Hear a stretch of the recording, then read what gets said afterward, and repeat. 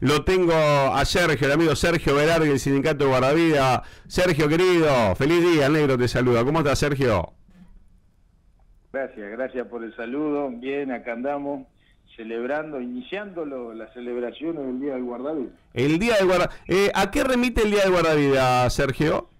Ah, ahí está la pregunta clave. A ver. Las efemérides tradicionalmente refieren eh, el Día del Guardavía el 4 de febrero, que es el día que lo conmemora a partir de un fallecimiento, o sea, a partir de la, de la muerte de un compañero, el sindicato de Mar del Plata. es anterior, claro, es anterior a nuestro gremio. O sea, calculemos que el sindicato de Mar del Plata se constituyó en la década del 70 por el, el auge de lo que era el turismo en ese lugar y la necesidad de organizarse los, compañeros. Y este, arrancó la historia, si se quiere, de los guardavidas, ahí es cierto, eso es parte de la, es parte justamente de la historia, y ellos conmemoran el 4 de febrero. Pero es que aquí, que el resto del país, no. O sea, el resto del país, y, y para contarte un poco y seguir el hilo de la historia, en la década del 80, en todo lo que es el partido de la costa de Buenos Aires, donde va desde San Clemente hasta Aguas Verdes en el sur, este ahí inició el sindicato nuestro, el Sugara, en la década del 80. Y ahí el Tano Cúcaro, que es el, el fundador, el creador de nuestro gremio, estableció el 14 de febrero con la intención justamente de poner en valor eh, justamente los valores que, que, nos llevan en muchos casos a, ejercer esta actividad que tiene que ver con la solidaridad, la entrega, eh, la actitud de arrojo y obviamente eh, todo en pos de salvaguardar la vida de, de otra persona, aún arriesgando la, la propia. ¿no? Eh, y hoy hay, hay un reconocimiento, hoy hay un tipo que llamamos un acto, un acto de, de, guardavidas, ¿qué se va a hacer? 12.30 el, el arranque, ¿no?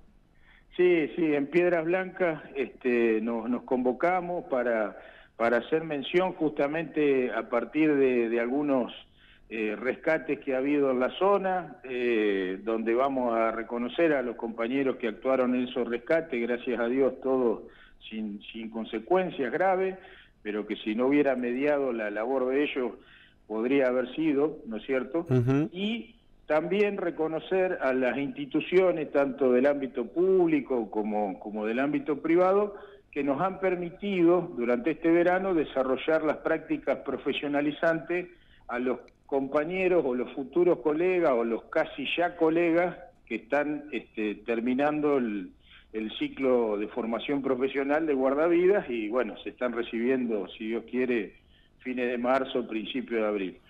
Eh, nos juntamos todos, bueno, y hacemos justamente ese reconocimiento eh, en Piedras Blancas a partir de las dos y media.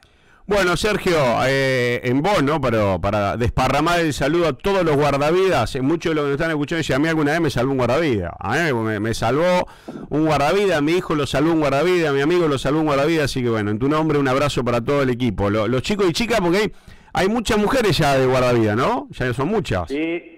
Sí, sí, sí, en los últimos años hemos implementado políticas para promocionar justamente la, la, participación de mayores mujeres en la actividad nuestra, lo venimos logrando porque se viene aumentando cada vez más ese, ese porcentaje que arrancó en un 17%, por decirte, abajo del 20%, y hoy ya te diría que casi lo estamos superando, cosa que es auspicioso y, y bueno, bienvenida a las compañeras este, al mundo guardaveril, que, que, que la verdad que nos hacen mucha falta y y, son, son, tienen un gran empuje y seguramente le van a brindar mucho, mucho a la actividad.